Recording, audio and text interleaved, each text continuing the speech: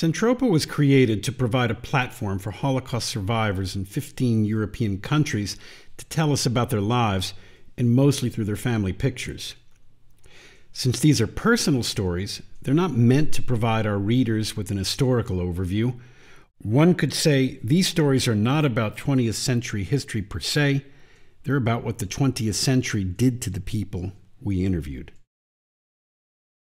Generally speaking, we know less about the Sephardic Jewish communities of Southeast Europe than we do about Jewish communities of, for instance, Germany and Poland. And during the Second World War, Turkey remained neutral and lies outside the scope of our topic. The Nazis invaded Yugoslavia and Greece in March of 1941, and their Jewish communities were horribly decimated. The story of Bulgaria and the Holocaust is a complex one, and although not well known, remains a point of controversy to this day. In the online study guide for our Bulgarian films, you'll find links to various books and essays that espouse one view or the other.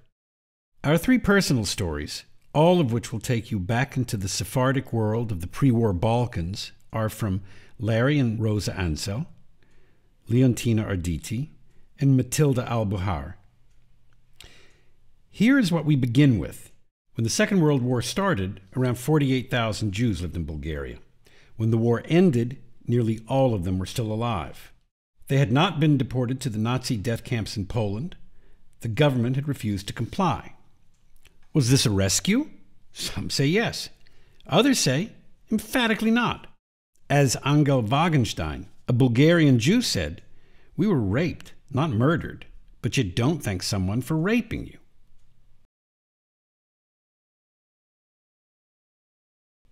Now, here's the background to the story.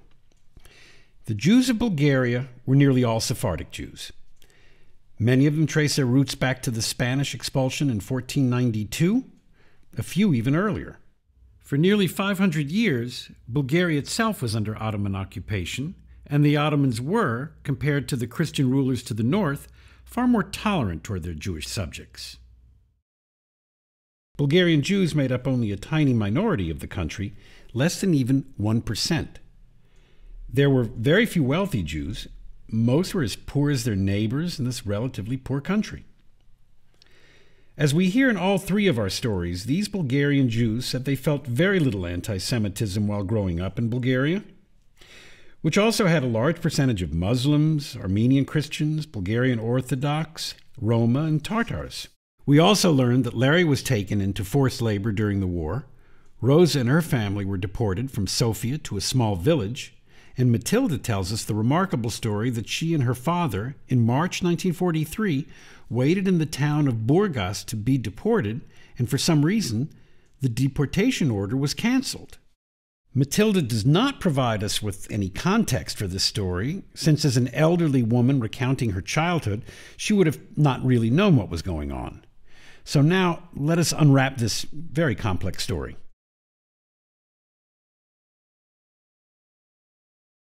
Bulgaria under King Boris III was not a totalitarian state, as was, for example, Nazi Germany and Fascist Italy.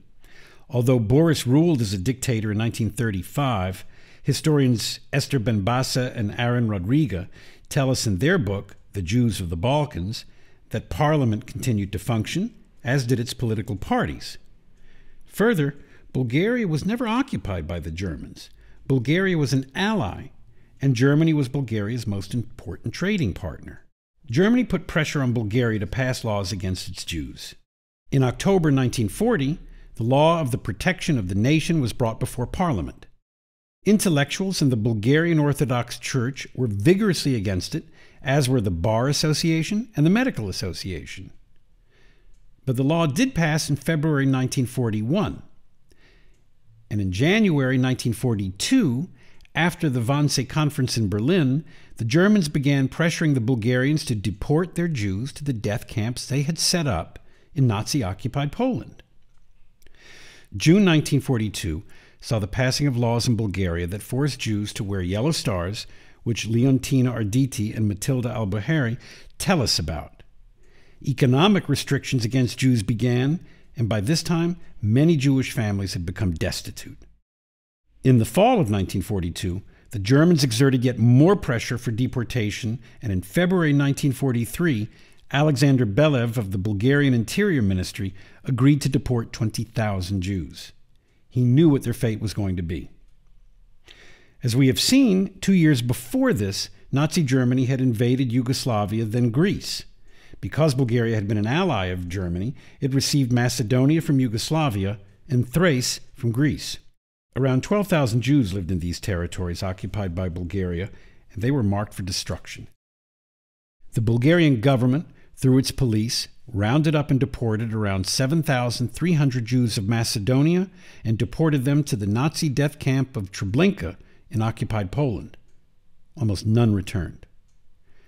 In Larry Ansel's film, he tells us that while he was in forced labor, he watched a train of Greek Jews being taken through Bulgaria by train. Those would have been the ones from Thrace. Around 4,000 Jews were on those transports, which were also headed for Treblinka.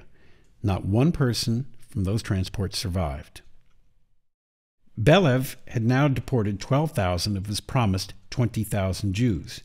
He needed another 8,000, and he turned to the Jews of historic Bulgaria.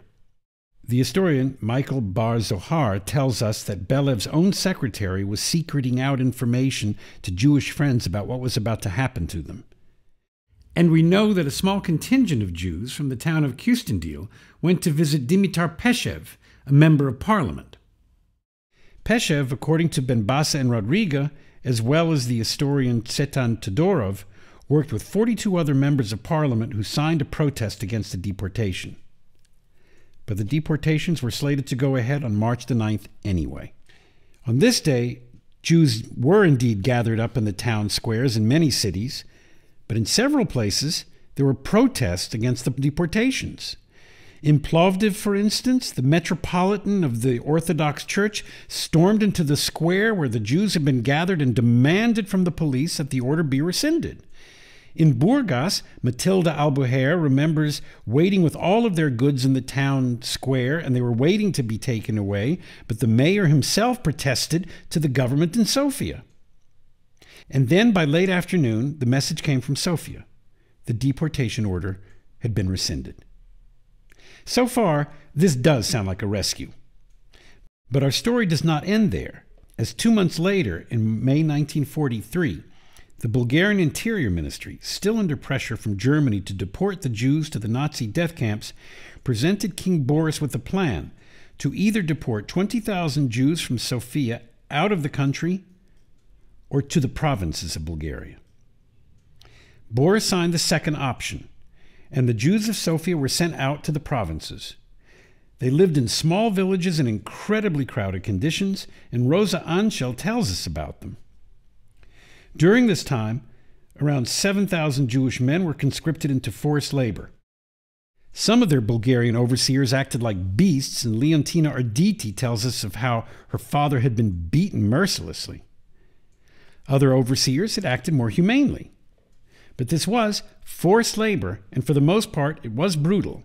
Although the Ansels tell us that Larry was allowed to leave his brigade to go and marry Rosa, and Rose's father received permission from his overseer to attend the same wedding. So the record seems to be somewhat mixed. By September 1944, the Soviet army swept through Romania and liberated Bulgaria. The Bulgarian army changed sides declared war on Germany, and then fought alongside the Soviet army until the war ended in 1945, in May. Yes, Bulgaria's Jews had survived the war, but the anti Jewish laws in Bulgaria had ruined them, so much so that nearly half of all the Jews were dependent on soup kitchens just to stay alive. Little wonder then that when a new Jewish state was declared in the Middle East, Israel, well more than 90% of Bulgaria's Jews emigrated in search of a better life. That story lies outside the scope of this one, and now let us turn to Dr. Albena Taneva, a Holocaust specialist in Bulgaria today. As we know, the Bulgarian government had no compunction about sending the Jews of Thrace and Macedonia to their deaths, and that same government was willing to deport its own Jewish citizens. Historians continue to discuss just who was responsible for halting the deportations. Most agree it was a combination of uh, decisions that were interlinked with each other. But when Albena Taneva stands in the classroom of young Bulgarians, she presents a different view. It was your grandparents who saved Bulgaria's Jews from deportation, she tells them. Ordinary people had come out onto the street and protested. Ordinary people had said it was wrong. Religious people and communists too. And they all went out on the street to say so.